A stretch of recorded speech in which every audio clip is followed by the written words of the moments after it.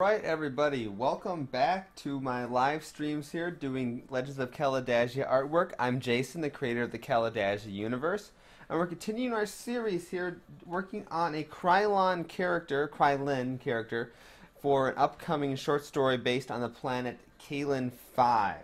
Um, so let me just kind of zoom out with the GIMP to give you an idea as to what we've been working on. This is the first time joining you, joining us over here. Joining me as only me by myself, so just me.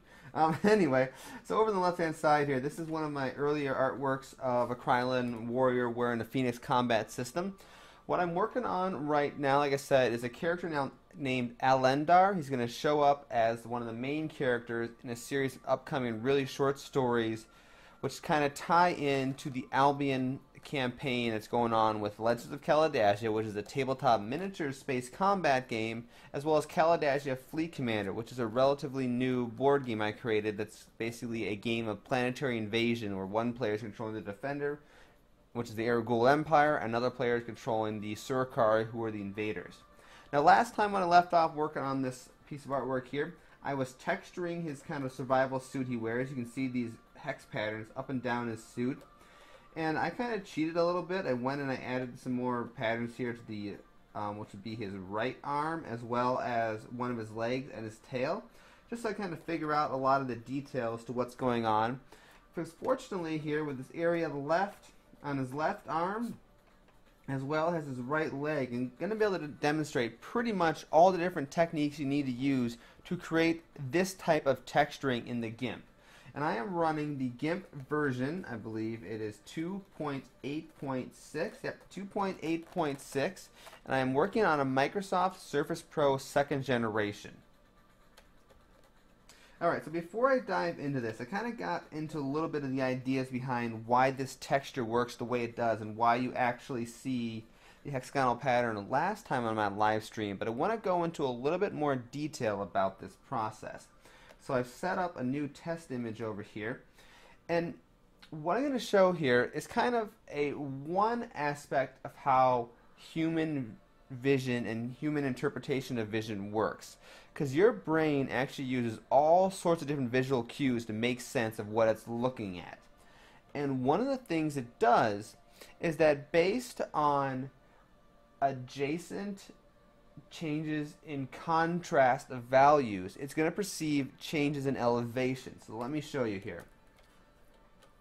Let me start by taking a fairly neutral gray value. In fact, I'm going to take just your basic middle gray value. And let's just drop a whole bunch of it down in the middle. And up in the upper right hand corner of the screen, you, we've got a light source. Now your brain kind of knows that's where the light's coming from for this particular picture. And what you can do let me actually, I'll use the acrylic brush, see how it works. We're gonna, I'm gonna take a somewhat lighter area and kind of draw it kind of perpendicular to the, the light as it's coming in, like that. And then let's take an area that's a little bit darker than the base color and draw it right next to the lighter color. And when you're looking at this, because you know the light's coming from this direction, your brain kind of interprets that as a bit of a hill you're going to see, because what it's going to do is it's going to take the areas that are lighter colored and it's going to kind of make the assumption that that's an area that's kind of coming out of the canvas towards you. And then it's going to take the areas which are darker because it's going to assume that those are in a shadow and it's going to your brain's going to think that that's an area that's kind of sloping into the canvas or below the canvas. It's basically it's an area of the ground that's going away from you. And because of that, your brain interprets this particular collection of contrast to be a hill. Now if we reverse the order and put the darker side first, your brain is actually going to interpret that one to be a value, or not a value, a valley. Because in a valley, the sloping shadow side first is actually the one that's closer to the light source, where the bright rising back up side of the valley is the one that's actually further away just because it's hitting most of the light coming from the light source. So your brain is going to actually interpret that area, assuming it knows the light source up in the upper right hand corner, to be a valley. And a reason I said assuming is your brain doesn't always know where the light source is coming from when you have a very few small examples like this. And you actually kind of get what a kind of little bit of magic eye going on where your brain doesn't really know exactly how to interpret the image. You got to give it eventually by the time you get to your final artwork, a lot of cues as to where the actual light source is coming from. You don't need to actually show the light source, whether it's a star, a lamp, a sun, whatever it is. You just got to give enough consistent cues as to where the light source would be coming from, and your brain's going to start interpreting the actual texture patterns correctly. And some of the other things you can do along this line, I've got the lighter side selected. We can go ahead and draw kind of a wavy, lighter line like that. Let's do a shadow line on the opposite side. And now your brain's going to interpret that as a plateau because you got land coming up, flat land, which is neutral color, basically neutral value to the area, the rest of the area around it, and then dark color is a shadow area falling back down. Vice versa, same kind of a thing. Let's go up here and draw kind of like a circular-ish shadow area. Take a lighter color, draw a circular-ish lighter color, and you more or less, it's it's a little tough to see here, but that's that kind of thing is going to create a crater. Just like how your valley was dark first and light, a crater is the same thing. It's, a, it's basically a circular value, a circular valley essentially. So those are the ways you can use texture to create, or those are the ways you can use value contrast to create the appearance of texture. And that's all I'm doing here with these hexagons. Now I'm going to show you some tools on how I create that. So let's start with going ahead and creating the texture on the left arm over here. Now last time I had created this hex texture layer. I'm going to bring it up. It's literally just a giant hex texture. And I'm going to duplicate it and we're going to call this left arm texture.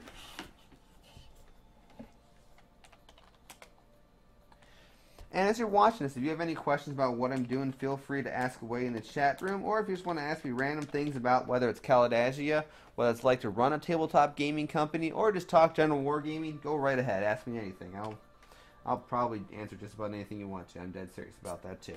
Okay, so let's hide the original texture layer. And let's scale the left texture layer here down quite a bit. We want to kind of scale it down to where the hexes are approximately the same size as the rest of the body.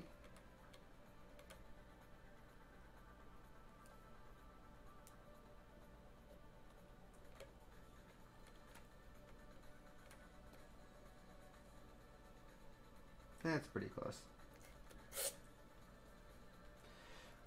Now what I want to do is apply that lens distort filter because I'm going to give it a bit of a curved shape because obviously his arm being a biological entity with muscles and such and such it has a bit of a curved shape to it. Now it's important to note that this texture only has to give the hint that there's a curved shape there. The actual definition and the telling your brain it's a curved shape is going to come later with light and shadow. So right now it's just getting a hint that it's curved and one thing to note about the lens distortion filter I'm going to use, we're going to go to filter um, distorts lens distortion. I'm going to do that in just a moment, actually click on it. There's two things. It actually likes to have a relatively circular area to work with. So if you try to do a long rectangle, it doesn't work. So if we want to actually create a, a rectangular shaped object, like for example the arm or later on down here in the leg, what I'm going to do is do a lens distort on just a relatively squarish part of this particular hex pattern, and then I'm going to kind of copy and paste that along to get it to the right shape and right size. Now, one thing you're going to notice when you go to Filters, Distort, um, Lens Distortion, you have a little preview window here, but because the fact you have a hex pattern, it's very difficult to tell what it's doing. So unless you really know how this tool works, it's pretty hard to do. So what I'm going to do, let's just go ahead and duplicate the layer one more time. Choose a nice bright blue color. Let's select a rectangle that's about the size of the layer. And we want to paste in the blue color. Make sure you choose full, fill hole selection over here in the tools. And now, let's go select none to make sure we're back in the entire layer. Filters, distort, lens distortion, and we're going to be able to see now what is actually happening. So I'm just going to crank up both main and edge. Everything else looks good. I don't need to change the center position because it looks good enough to me. Then we can hit OK. Okay, that's looking pretty good there for that lens distortion. Let's repeat it. And I think what I'll probably end up doing is let's repeat it three times. So I know now I can use these same settings I just did to, with this demo blue rectangle and you apply the same settings three times to the layer underneath it. And that's how I can get around the fact that the preview window is totally useless for a very hex mesh pattern. So let's just delete this layer I just created. Let's go back to our left arm texture, filters. And I can really just hit repeat lens distortion three times.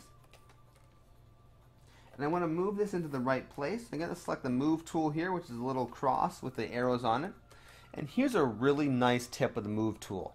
By default, it only selects like whatever layer you're over that's got pixels.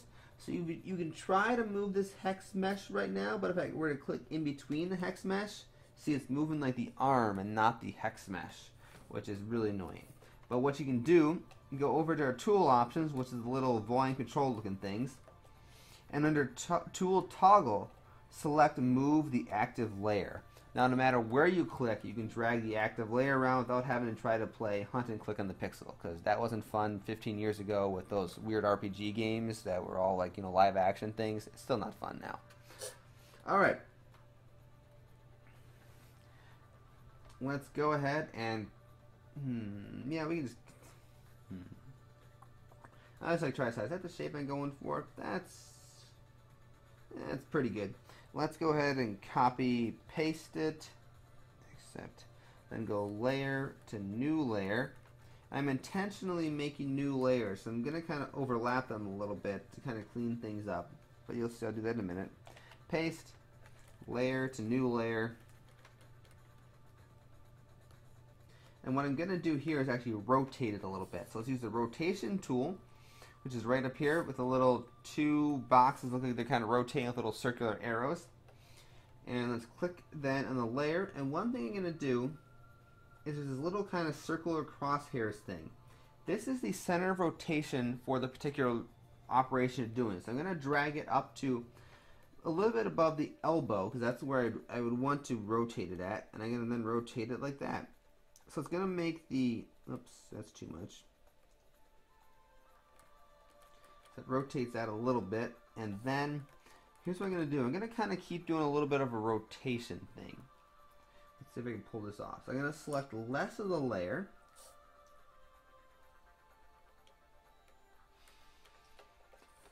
Hmm, this might not do exactly what I want, but we'll find out. Might start separating things. Yes, it was going to So instead what I'm going to do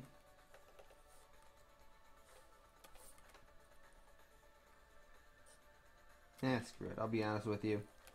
I was trying to get fancy right there, but it honestly isn't necessary for what I'm going to do. So, okay.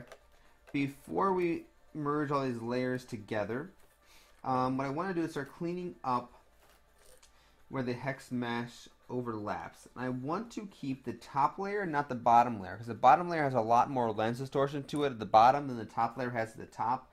So it'll look better to keep the top layer. I just had a lot of stuff there, but you'll see what happens. Okay, select the circular brush, go to the layer below the top layer, and just kind of, whoop, too big, zoom in and start deleting that mesh underneath where they overlap.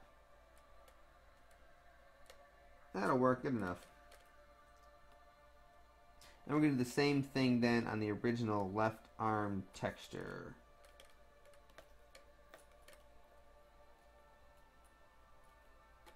It's not perfect, but it'll work for now. Like I said, it's just about getting the hints that there's some sort of texture going on there. It's going to be the big light and shadow we add later that really gives the idea that his arm is circular and where the muscles are. And we do have one more set of texture to apply because he has his hand sticking out across his chest right here. If you're wondering, I guess, why there's a big missing part to his arm, he does have a shield weapon that, not a weapon, but a shield that he carries, and it's this giant bracer thing that emits a shield. Um, let me turn on the sketch.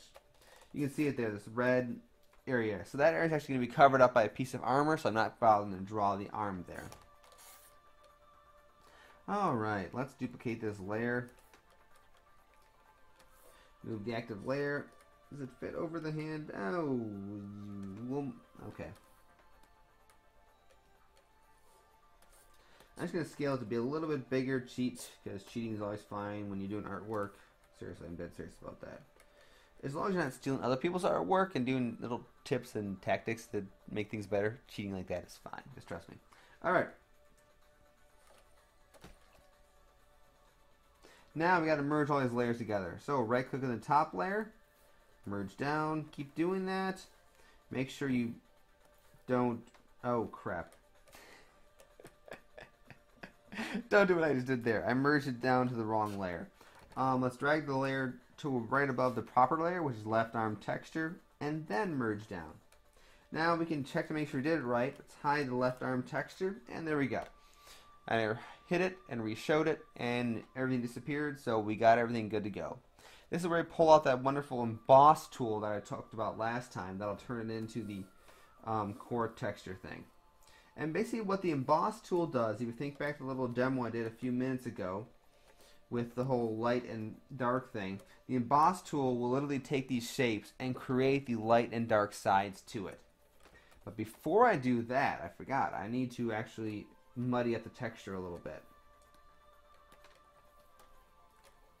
So, take the airbrush, get one of the acrylic brushes out, too much. Let's add a little bit of jitter to it. The jitter makes the brush kind of jump around as you as you're drawing. This is going to add some extra texture to the arm. That's all. Nothing exciting.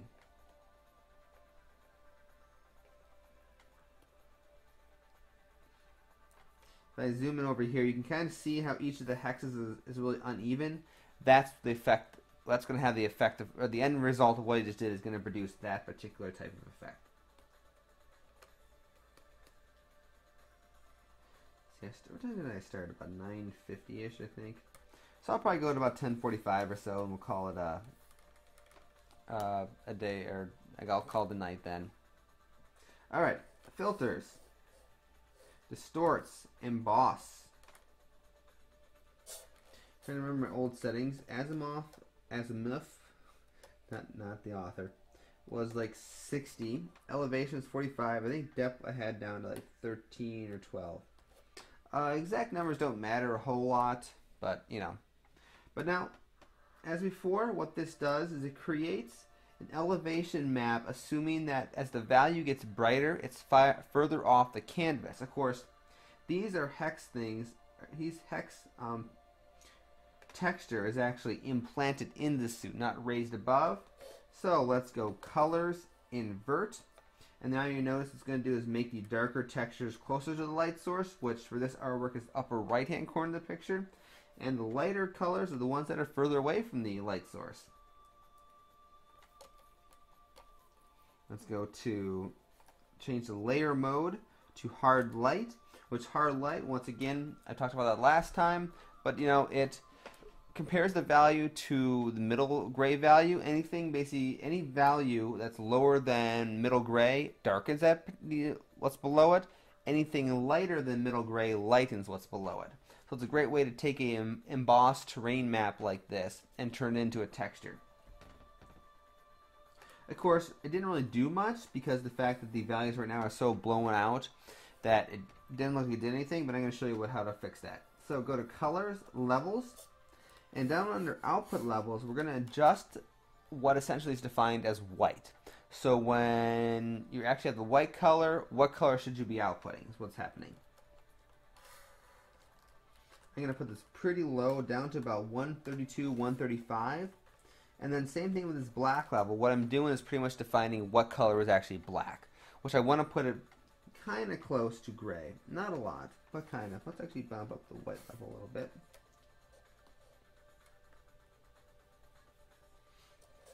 And you should start to see the texture appear. Like I said, once again, this is kind of that whole funny magic eye thing where you gotta have to look at it the right way. You kind of have to stare at it and convince your brain as to what's actually where the light source is.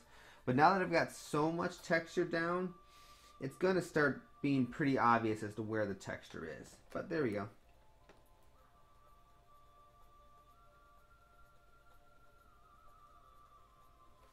Just kind of his arm bent a funny way with that texture, but I'll try to fix that when I get to later on. Hope I can fix it. If not, honestly, you're probably never going to notice in the final artwork. That's my hope anyway.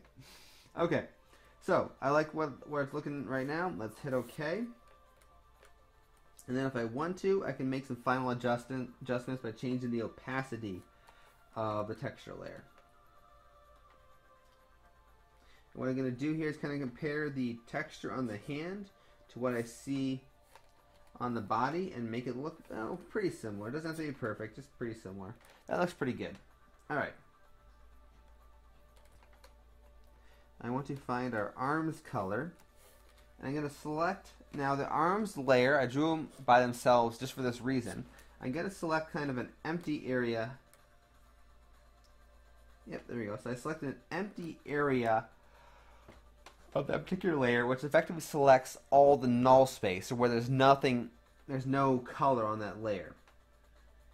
And it almost selects the entire empty space. You kind of got this little fuzzy border region. Let's go select grow by two pixels, which will make it pretty much grow the selection to include everything up to the area that's basically everything that's not pure solid color on that layer. Let's go back to left arm texture edit cut. And just like that, you deleted all the texture that was outside the shape of the layer, which is just what you wanted to do. Alright, we're going to do this one more time with the leg, but there's going to be one more neat little trick going on down here that's kind of important. So what I'm going to do, I'm going to turn on a layer I created before, it's called Guide, and I'm going to draw a red line and I'll explain what that lead that lead what that red line represents here in just a minute.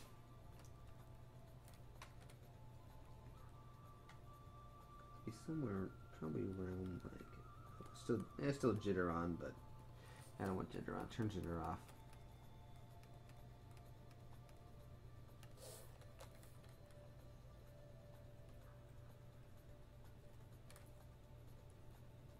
Let's define it like that. Okay, so what this red line here means, it's a perspective thing. If you think about it, how he's um, currently running, let me bring up his side view of him. You can see over here. From our perspective, this is the leg I'm, I'm looking at right now. Uh, it's fine, I draw here. Okay, this is the leg I'm looking at. And then below the red line is this kind of double knee jointed section going on here. Now from our perspective, you actually can't see this chunk of the leg right here. You can pretty much see where this, where the quadricep ends, and then it kind of picks up a little bit further down the middle knee joint here as to what you can see. The reason that's important is the texture obviously would not continue across that line. So even though the pixels on either side are adjacent visually from our perspective, in reality, the pixels on the opposite side of that red line are not actually adjacent to each other in real physical space. So we need to make sure that there's a clear break in the texture there to give additional illusion that what you're looking at is pretty much part of his leg is being hit by his quadricep. So let's start working on that. We can let's keep the guide up for now. We can hide the sketch. Text text texture layer. Let's duplicate it one more time just in case you want to use it again later.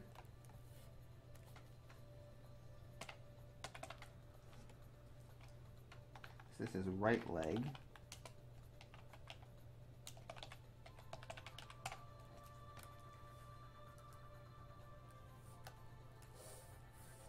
Same deal, let's just um, go ahead and size it on down.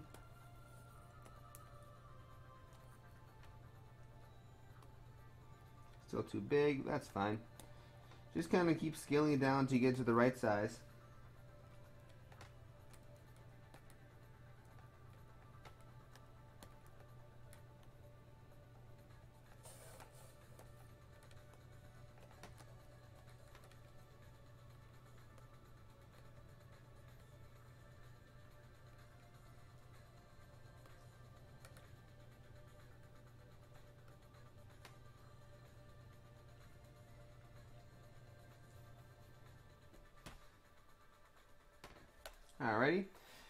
Just use the same settings for the lens distort that we use for the arm because it's Like I said, it's an approximate thing. Obviously, the leg's bigger and blah blah blah, but it's an approximate thing.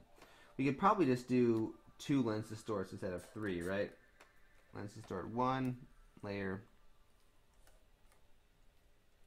not layer filters, repeat lens distortion. Yeah, it's looking pretty good. Um, what I'm gonna do differently this time to kind of get rid of this um, distortion you see at the top and the bottom of the texture because I don't really want that. Let's just take this area and just work with a much smaller area like uh, let's do that and that. So it minimizes the distortion at the top and the bottom of let's you just probably do that. There we go so now it minimizes the distortion at the top and the bottom while still keeping a little bit of distortion on the left and right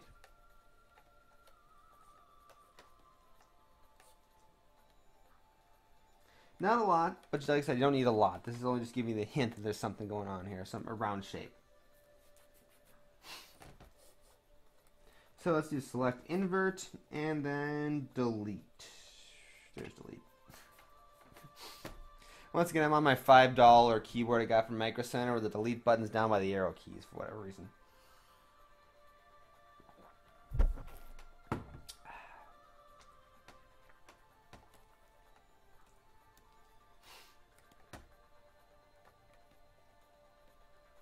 There we go. Let's duplicate our layer, and we're going to do the same kind of train thing where we keep just going on, on down. We'll overlap it a little bit, then we'll clean it up in a minute.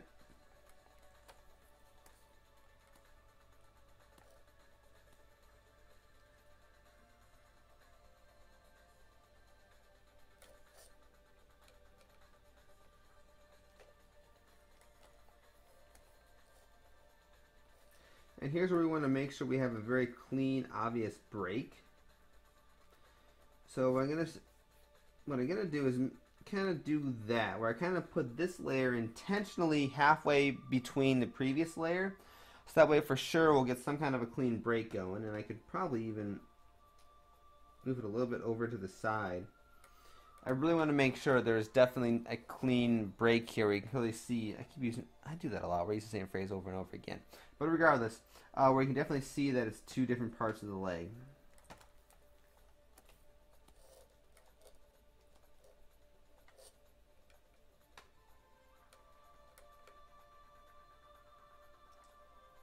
Yeah, it'll work. There's not a whole lot of, of curvature going on there, but it'll be good enough.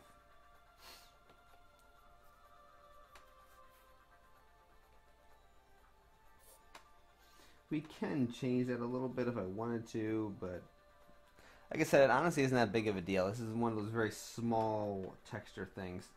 Okay. Let's start cleaning stuff up here. Let's go back to our texture copy.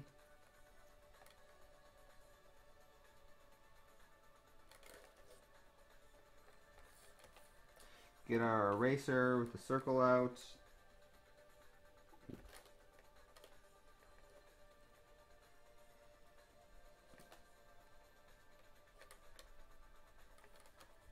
Select none. like, wait a minute, why is nothing happening? Oops, too much. The wrong section, actually.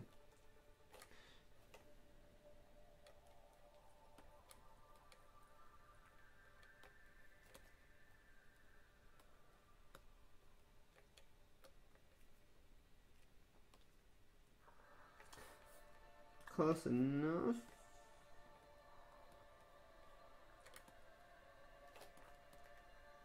That'll work close enough. And we're going to keep doing this process of cleaning up the joints as necessary. And then we get to this one. This is the fun one. So, okay, this is the one where we have the break between the quadricep and further down the leg. Um, we want to remove it pretty much right around that line, that red line that I drew.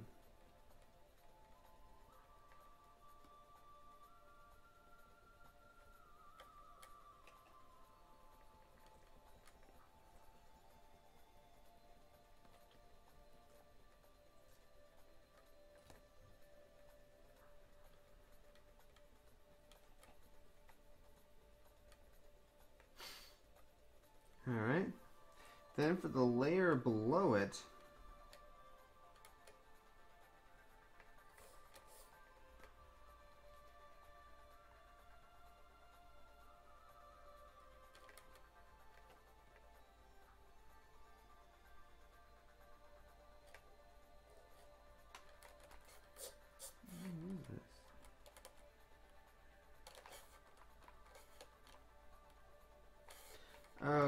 that up a little bit.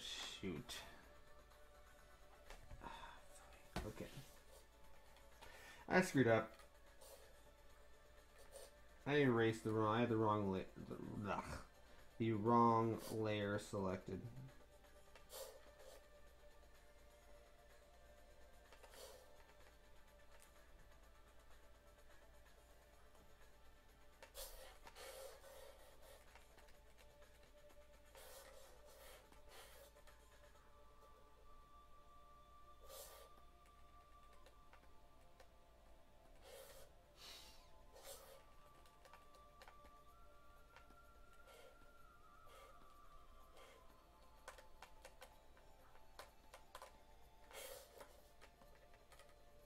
Okay, let's do this the right way.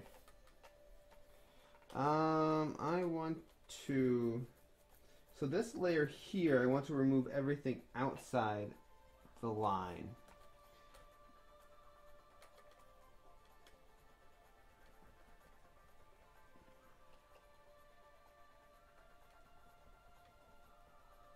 There we go. That's how it's supposed to be. Yeah, I, I I erased the wrong layer last time.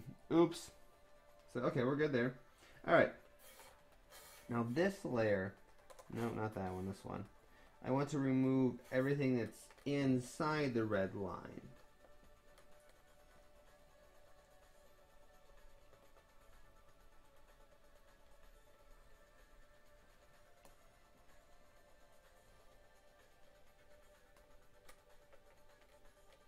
You'll see how it looks just in a minute here. There shouldn't really be any over anything overlapping. If there is, then that's not good. Now, of course, this boundary is going to be defined more later on with shadow and light, but for now, this is just working with the textures. And finally, let's clean up down here.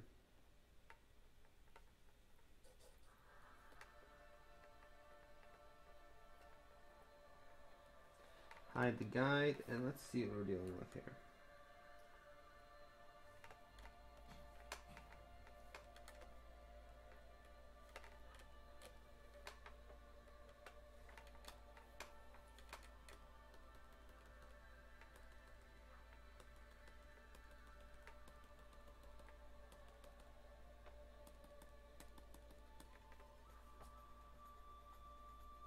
There we go. Yep so that's kind of what we're going for. Um, you can see a broken, a break in the texture right here. That's exactly what we want.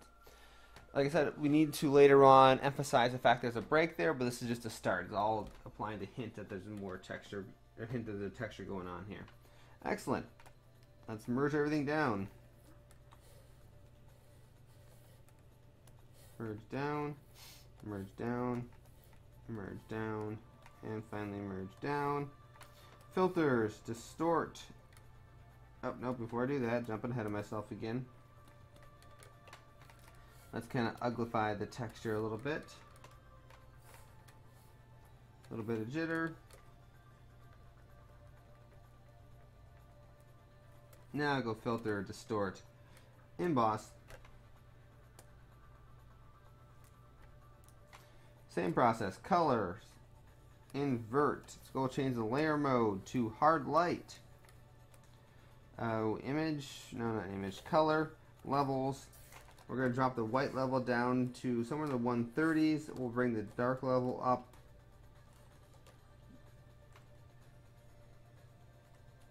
Probably your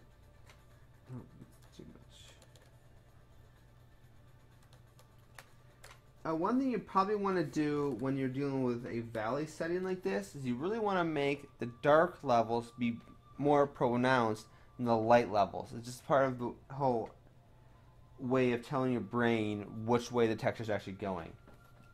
by emphasizing the dark over the light, it's going to think more valley-like. By emphasizing the light over the dark, it's going to think more mountain-like. You can see here it's not quite the same. It looks brighter than the rest of the body. So that's not good. Let's drop the lighter color down, increase the darks. And you're going to see how the dark in your eyes is going to start taking over and it's going to look more and more like the areas around it. Alright, that's good. I like that. And then we can just adjust the opacity of that layer a little bit to match the rest of the body. And I do need to clean up just a little bit up here where the leg is meeting the uh, torso area.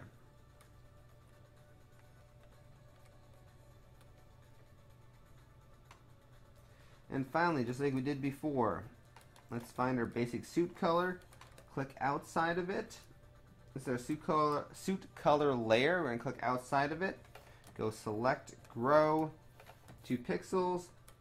Therefore, we only have, pretty much have all the negative space selected.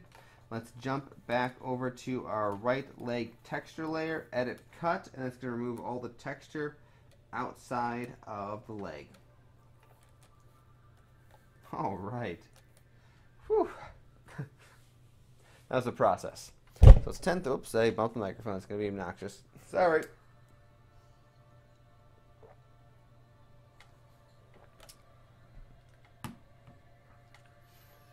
Okay, it's about 10.30. Let's go for another 15, 20 minutes here.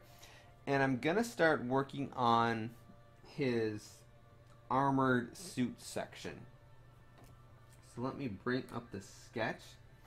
And I need to put that, we'll put that on the very top right now so you can kind of see what I'm working with here. And what I'm going to do is make some of it kind of facing towards the light, some of it facing away from the light, and some of it inset a little bit. So we're going to get a little bit of details going on here. Hmm. And what I'm going to do first is essentially create what I'm going to call a face mask. I'm probably just making that up myself. But I'm going to identify where the different faces of this vest are because the fact that it's mostly heavily angled, it's very sharp changes in light and shadow depending on how things are hitting it. And later on, we start applying the light and the shadow to it, it's going to be very sharp changes and very soft changes. Um, but more about that later when we get to light and shadow. So let me think a little bit about the different faces here. And the other thing I'm going to do with this particular vest is more or less symmetrical because we're pretty much looking on, at him dead on. So I'm going to draw one half of it, just flip it over, and keep the other half that way. So we got pretty close to being um, symmetrical.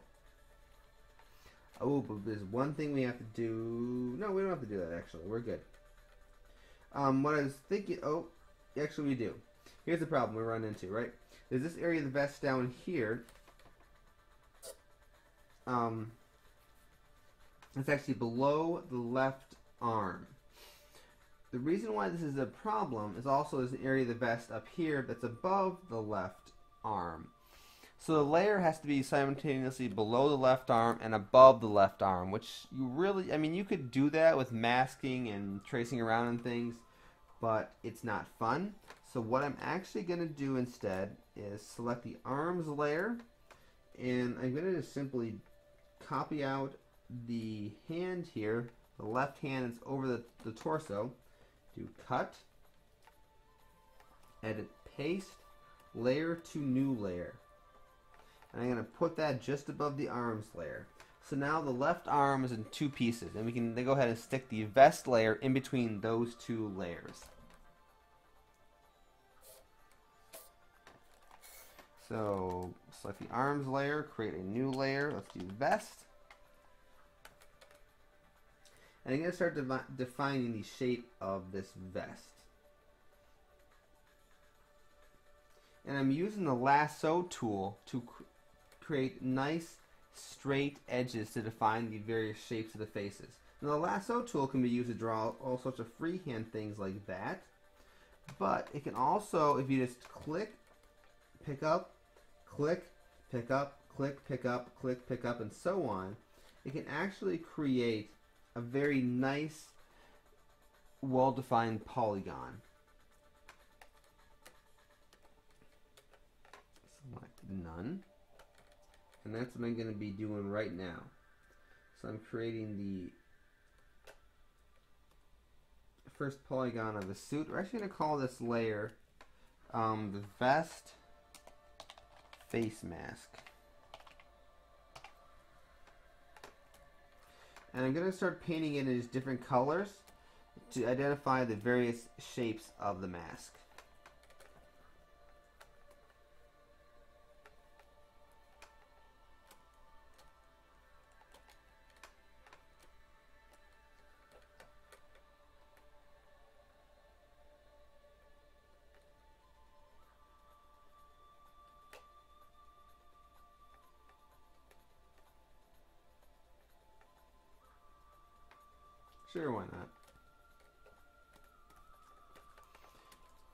Can always adjust the shapes later if they don't look in the right perspective or whatever it may be.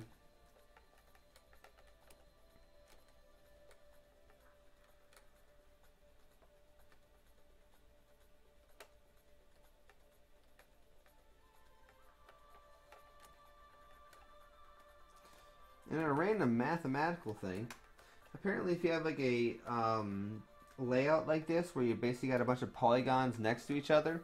It only takes four colors to be able to paint a collection of polygons such that no two adjacent polygons have the same color. Totally random, I know.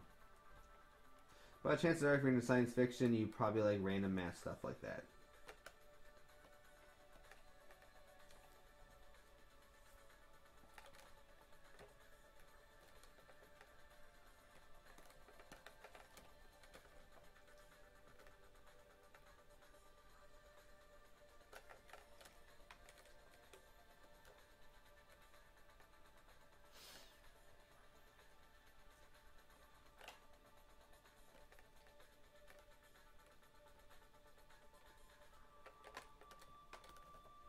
Oops, that's gonna. The GIMP does that a lot of them on the Surface Pro. Um, I don't quite select the tool, so I think I select it, then I go to do something, and it's actually the old tool. It's like, ah, total disaster.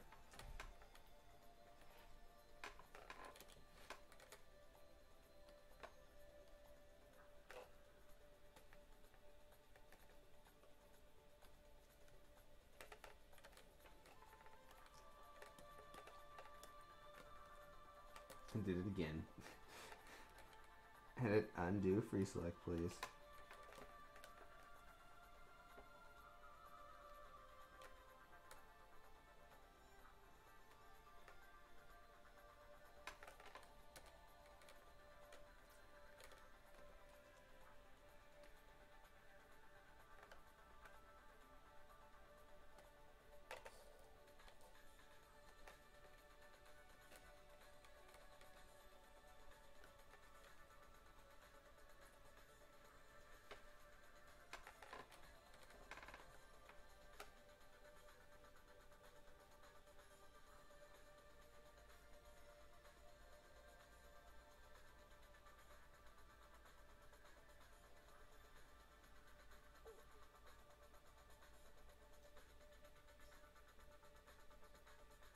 Hmm. Remember what I said about four colors in math? Maybe I'm wrong.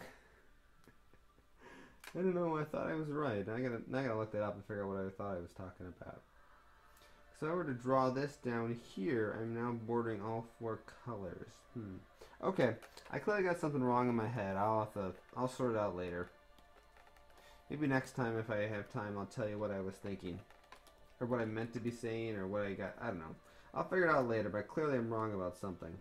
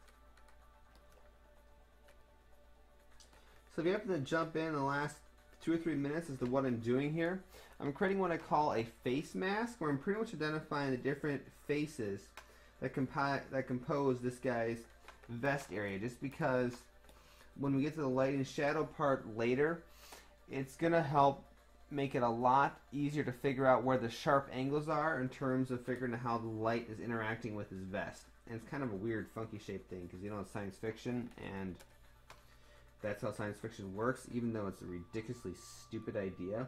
Um, seriously, have you ever tried to cosplay a sci-fi guy? They don't really work very well.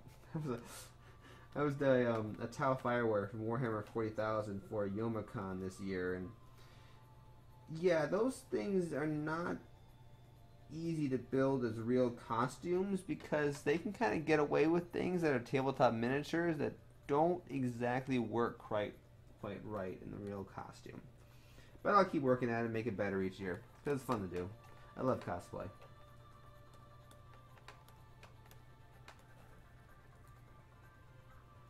Alrighty. Let's see what I got going on here. Oh, actually one more thing I need to color in down here.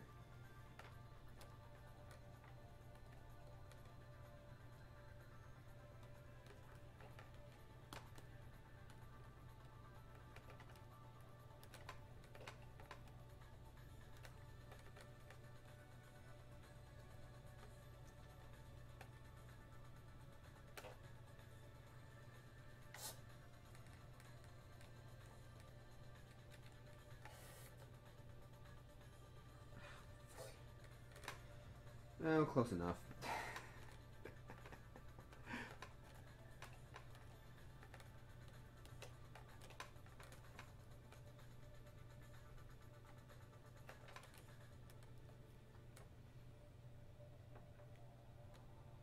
I'm going to deal with this arm thing later. I guess we can go ahead and do the vest part down here as well.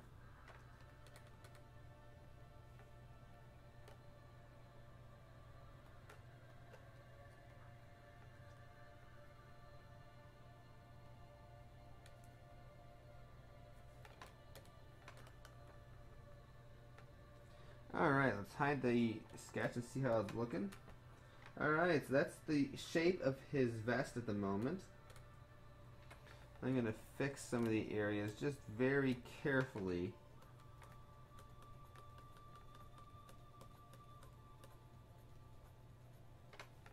Want to sketch right now? I'm the right thing.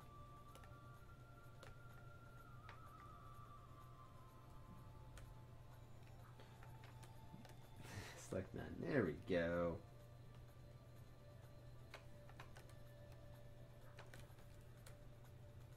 Oh, the textures like, ah, what's going on? Okay, edit, uh, select none.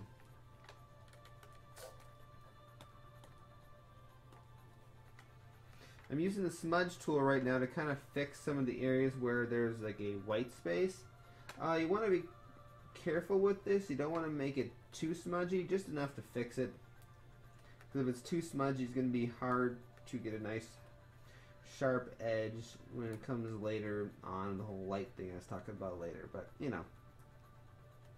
I'm kind of just discussing far off stuff that hopefully you just understand what I'm doing right now and it'll make sense later. Okay, let's select our vest. No. Copy, edit, paste, layer, transform, flip horizontally. And see what happens. Now, of course, the artwork kind of, um, I'm sure his body is not perfectly symmetrical for, symmetrical for any number of reasons, so it's not going to go perfect. Rectangular select, layer, anchor layer. Alright, so how do we want to fix this? So, what we've got here, a few things going on. Um, one, his shoulder sticks out above the shoulder over there, probably because his shoulder's a little bit broader. The bicep starts at a different spot, clearly. And there's this mess in the middle. Okay, let's start with the fixing the shoulder problem. Let's go back to our arms layer, take an eraser,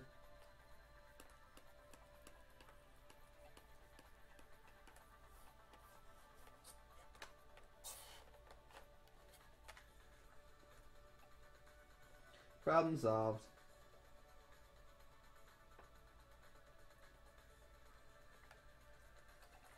Then select the void of the arms layer. Select grow to pixels. Let's see, this is our right arm texture, which would be just called arm texture. And cut to get rid of that. Select none. We'll clean up that stuff later. The arm texture later. I guess the arm texture, we can drag, so the arm texture layer, let's drag that between the arms and the face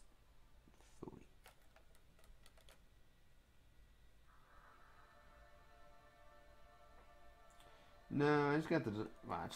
Let's undo that. Well, it's fine. We can do that one there. Um, problem is, left arm texture has both the hand and the left arm texture to it. So I'm just going to go to the left arm texture layer and delete this texture where it overlaps his um, suit. That's easier to do. Okay, let's fix this this empty space here in the middle. So, vest face mask. I'm just taking the paintbrush, selecting the color that we need to fill in the gap with, and we're filling in the gap. With a round, I think it's the full 100 hardness brush.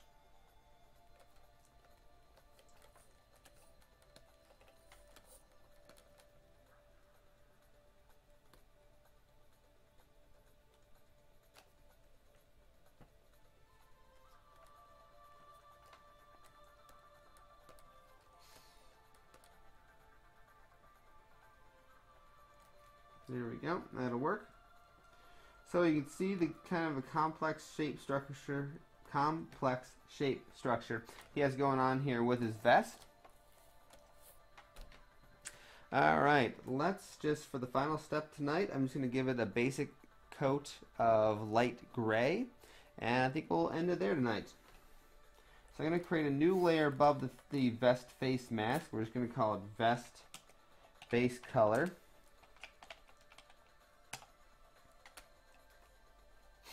And all I'm really going to do, take a lighter medium gray color, probably around the 60 value mark.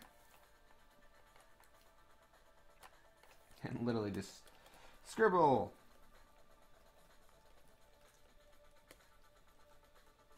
And that's his vest. just kidding. Let's go back to the vest face mask. Same thing we did before with the texture. Select by color, select outside. We don't need to grow the selection this time because we have a fairly sharp mask below it. So let's go back to the base color, edit cut, and there we go. That is going to be pretty much our vest color for now. We're going to add some texture to it and start working on some of the shadows and highlights next time. But once again, I'm Jason, the creator of the Kalidasia universe. For more information on Legends of Kalidasia or how to purchase a copy of either the miniatures game or Fleet Commander, which is the board game, you can head over to kalidasia.com and let me just write that down here because once again, that's a made up word.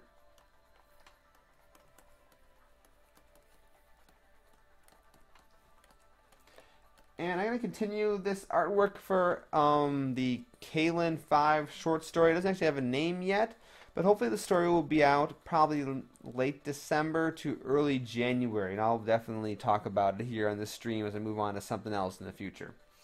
So once again, thanks for watching. I'm Jason, and have a good night.